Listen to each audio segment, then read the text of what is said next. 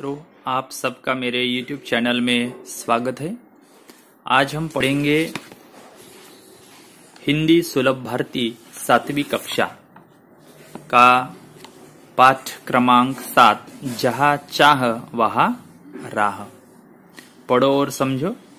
यह पाठ लिखा है अनुराधा मोहिनी। उनका जन्म 21 सितंबर 1961 को नागपुर, महाराष्ट्र में हुआ है। परिचय? अनुवाद के क्षेत्र में अनुराधा मोहिनी जी ने अमूल्य योगदान दिया है, तथा अपने विविध पारिभाषिक कोशों की निर्मित में सहभाग, वैचारिक एवं ललित पुस्तकों का संपादन भी किया है। प्रस्तुत कहानी में लेखिका ने संकल्प शक्ति और उसके समुचित क्रियान्वयन से असंभव काम को संभव करने की प्रेरणा दी है। अब हम इस पाठ का स्पष्टीकरण देखेंगे। इसंबा गाँव की पाठशाला की घंटी बजी। धुआधार बरसात हो रही थी। वर्षा के कारण प्रार्थना मैदान पर न होकर कक्षा में संपन्न हुई। उपस्थिति लेते हुए गुरुजी ने देखा कि आज कक्षा में बहुत कम विद्यार्थी है।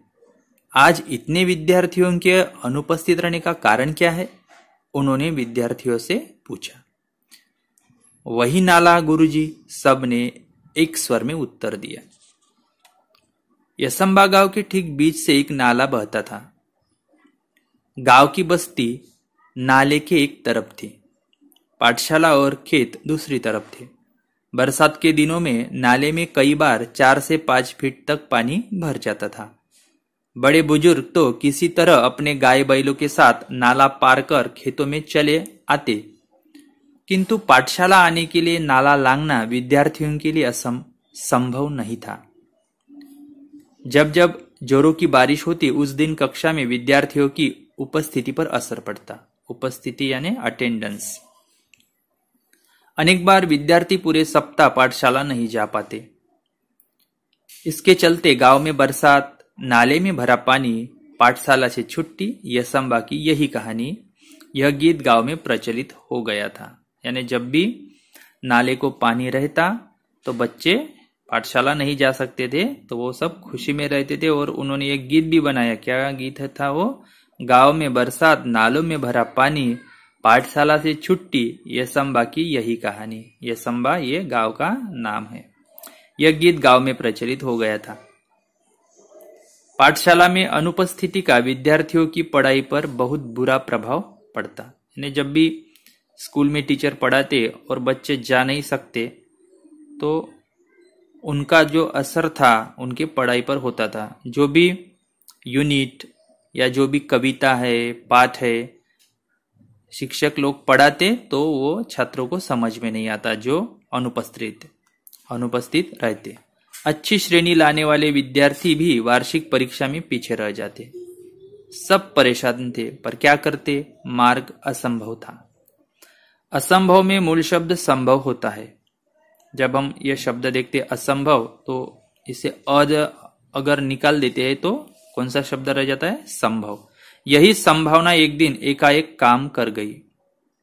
हुआ यह कि उस दिन भारी वर्षा के कारण यसंबा के अधिकांश विद्यार्थी पाठशाला नहीं जा पाए थे। सो, दोपहर बाद बरसात थोड़ी रुकने पर चौपाल में बरगद के पेड़ के नीचे चबूतरे पर बैठे वे आपस में बातचीत कर रहे थे।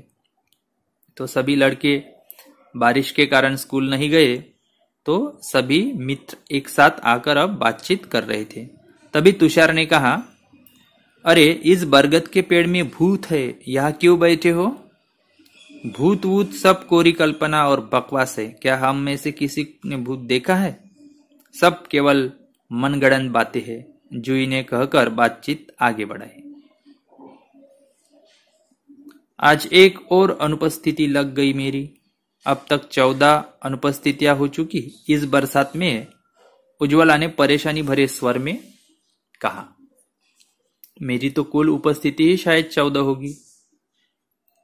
शुभम ने कहा तो सब हंस पड़े।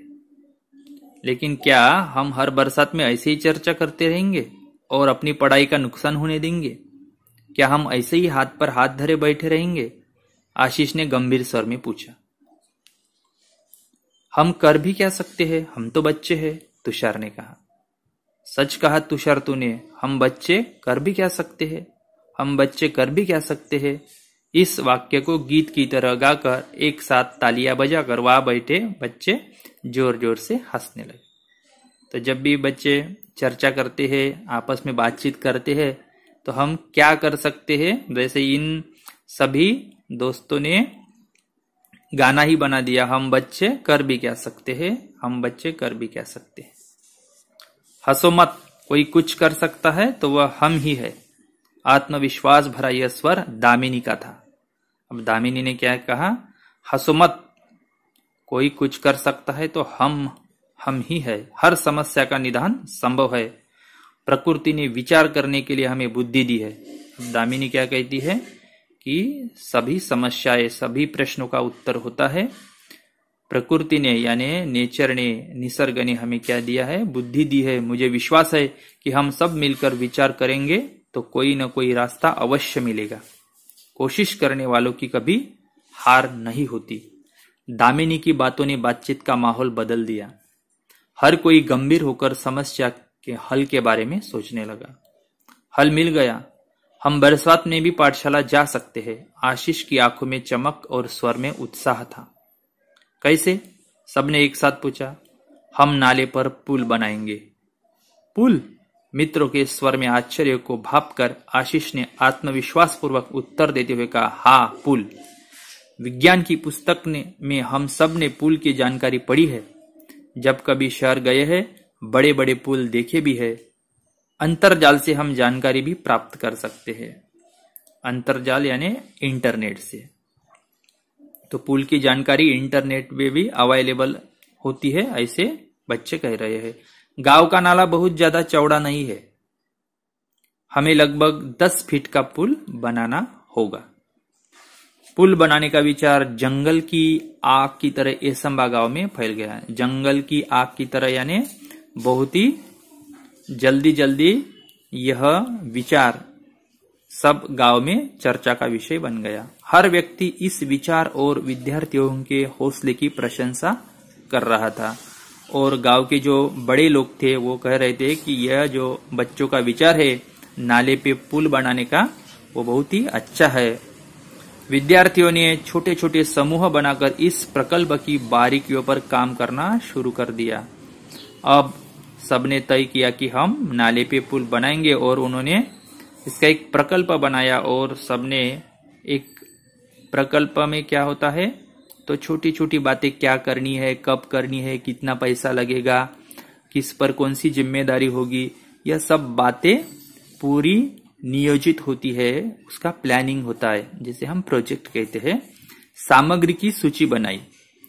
सामग्री खरीदने के लिए 20-20 रुपए एकत्रित करना आरंभ किया। तो पुल बनाने के लिए जो भी साहित्य या सामग्री लगेगी, उसके लिए पैसों की भी ज़रूरत थी। तो सबने क्या किया? 20-20 रुपए एकत्रित करना आरंभ कर दिया। अब तक पाठशाला के शिक्षक और गाँव के लोग भी सहायता के लिए आगे आ चुके थे।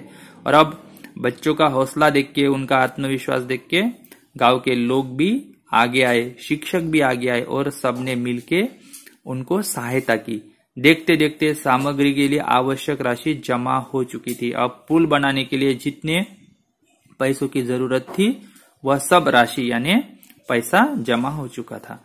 बुज़ुर्गों का अनुभव, युवाओं की शक्ति, विद्यार्थियों का उत्साह सब साथ मिलकर काम कर रहे थे। और इस नाले पे पुल बनाने के काम में सब लोग गाँव के साथ आए, बुज़ुर्ग आए, युवा लोग आए और विद्यार्थी भी साथ थे। संगठित प्रयासों से काम आकार लेने लगा था। काम आकार लेने लगा था, यानी काम धीरे धीरे प्रगति पर था।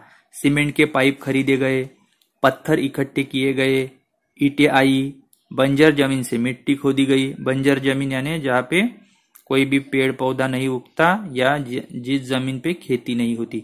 गाँव के छगन बाबा नामक एक बुज़ुर्ग ने प्रचुर मात्रा में रेत उपलब्ध करा दी। तो ये जो रेत है, वो दान में मिल गई। पुल बनाने के लिए पूरे गाँव के हाथ एक साथ मिट्टी का भराव करने लगे। तो ये पुल बनाने के लिए लोगों ने श्रमदान भी किया, यानी मेहनत की। सब लोग साथ आए और मिट्टी का भराव भरने लगे।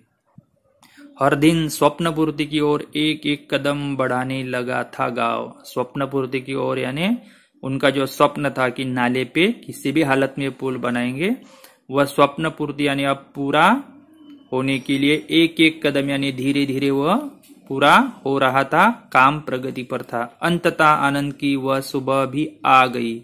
वर्षों की कठिनाई दूर हुई। केवल पंद्रह दिनों में ग्रामीणों और विद्यार्थियों के सामूहिक श्रमदान से पुल बनकर तैयार हो चुका था। श्रमदान गाँव के सभी लोगों ने मिलकर अपना श्रम पुल बनाने के लिए दिया। इसे हम श्रमदान कहते हैं, यानी श्रम का कोई भी मुबदला न लेना। पूरे गाँव के लिए एक अद्भुत उपलब्धि थी। सभी ने एकता, संगठन और श्रमदान का महत्व भी समझा था। बरसात में इस बार भी नाले में पानी भरा था, पर विद्यार्थी हँसते खेलते पुल से पाठशाला की राह जाने लगे। पुल भी विद्यार्थियों के हौसलों को दाद देता मानो मन ही मन कह रहा था, जहा चाह वहाँ राह।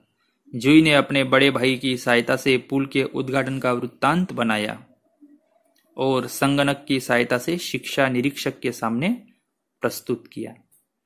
तो यह जो कहानी है, यह कहानी संजय भारद्वाज इन्होंने अनुवाद की है। तो छात्रों, मुझे आशा है कि आपको यह पाठ पसंद आया होगा। तो लाइक करें, कमेंट करें और अपने दोस्तों को शेयर भी करें और हाँ मेरा यूट्यूब चैनल सब्सक्राइब करना ना भूले। धन्यवाद।